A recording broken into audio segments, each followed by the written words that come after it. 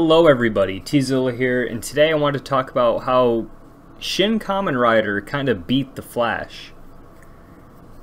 With Shin Kamen Rider coming to Amazon Prime, a lot more people have been able to see it, and I think that's an awesome thing. I do wish there was a dub option for people who didn't want to, you know, read the movie, but that aside, it's still super awesome. This movie is on Amazon Prime, and if you have a Prime membership, it's just free to watch. So it's super accessible now, it's in a ton of languages.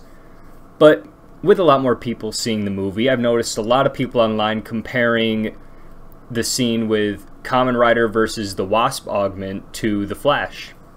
A lot of people are saying that Shin Kamen Rider did super speed better than The Flash, and honestly, in my opinion, yes, yes they did. While Shin Kamen Rider's CGI doesn't necessarily look realistic, it looks good, especially in this scene. I don't know if this is describing the super speed well, but the way like Kamen Rider moves kind of all jittery and low frame ratey, it's really cool and I really like how they did that. The yellow streaks going off Wasp augment are like perfect and honestly I love how she moves around just like a wasp, darting all over the place. The Flash's CGI is just not good. Like everyone can agree on that. Nobody liked that.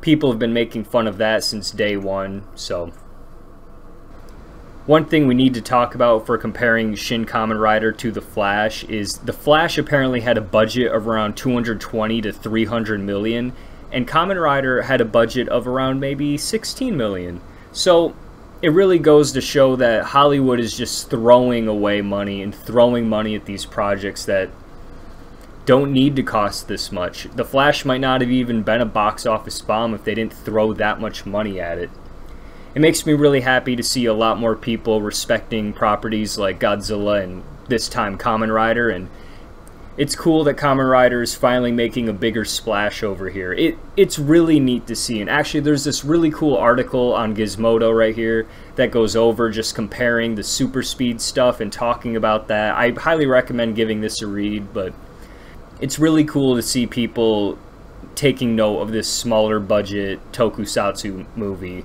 and realizing that, oh, this stuff doesn't look that bad. It actually looks better than a lot of, you know, big budget American movies.